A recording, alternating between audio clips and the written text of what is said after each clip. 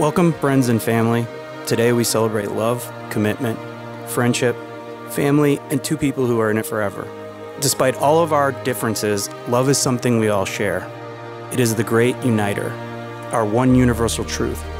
No matter who we are, where we are from, what we believe, we know one thing love is what we are doing right. Matthew and Maddie have written their own unique story over the years. That story is what brings us here today.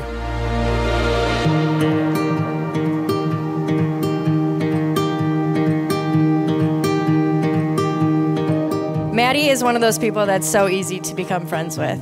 She's funny, smart, kind, and loves to have a good time.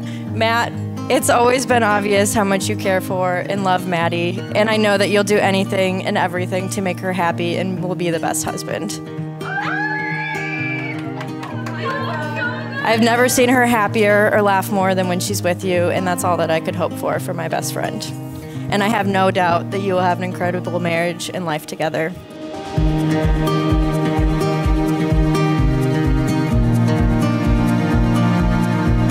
my best friend. I remember the first night we met in Platteville, walking to the glow light party.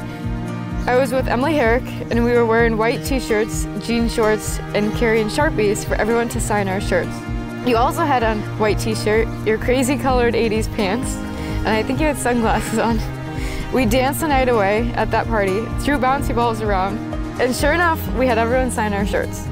It was wild and fun, and the perfect way to start a new chapter in my life. Little did you know, I had felt homesick and lonely up until that point. But that night, I felt welcome, safe, invigorated, and optimistic. I think in that moment, I knew somewhere deep down that it just might be you.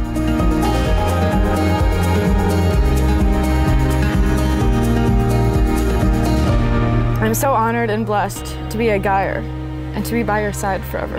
I want to experience everything in life with you. Traveling, kids, pets, buying another house, and all the little things in between.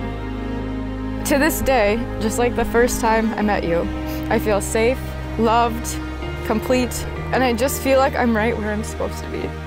Thank you, Matthew, for waiting for me, and for choosing me, and for loving me. There was always you. I love you. I can't believe this day is actually here. I've been looking forward to this moment for so long, and I can't imagine any different. You're my best friend, my partner, and the love of my life. I love spending all my time with you.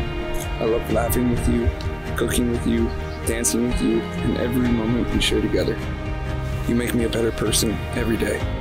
The moments and memories we create today, we can look back on for the rest of our lives and cherish and remember how much love we felt on this day. And as the years pass, I promise to keep cherishing these memories, keep cherishing you, so we can keep this feeling alive for the rest of our lives.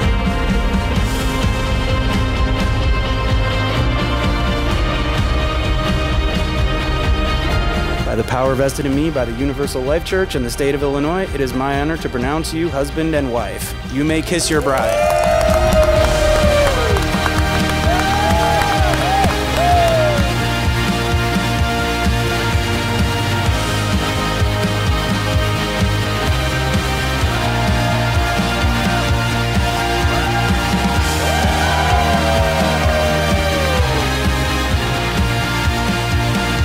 To start my speech, I just want to say thank you to Maddie for marrying Matthew, and I know one day you too can become a great Packers fan.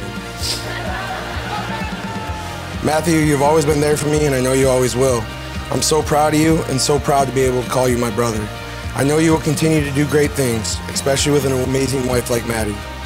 I couldn't be happier for the both of you, and I love you both. Please raise your glasses, join me in the toast to new beginnings and to the Green Bay Packers. I love you both.